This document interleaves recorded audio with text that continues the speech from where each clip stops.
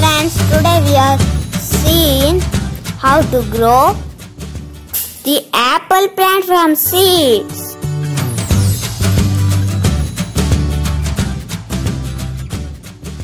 Take an apple and cut it. There are so many seeds in apple and take it off.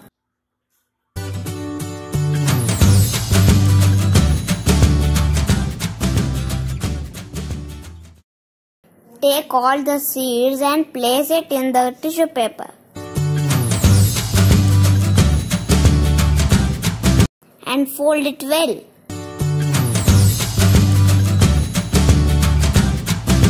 And fold the sides so it can't go out.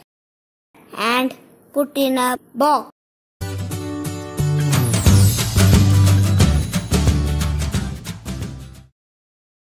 And spread 2 drops of water in the box and close the box. Place the box in the fridge. After 2 weeks, you check the box and it has small root.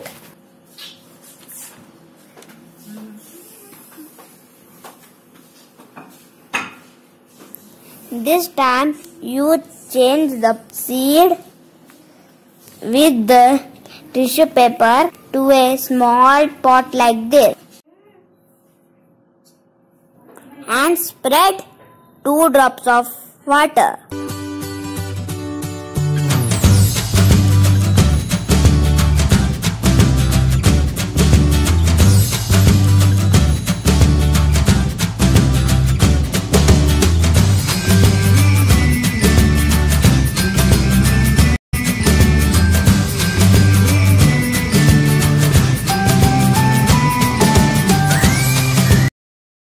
These seeds are changed to the pot before 2 weeks.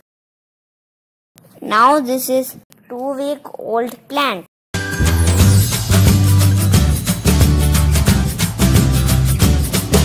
After 4 weeks, we change the pot.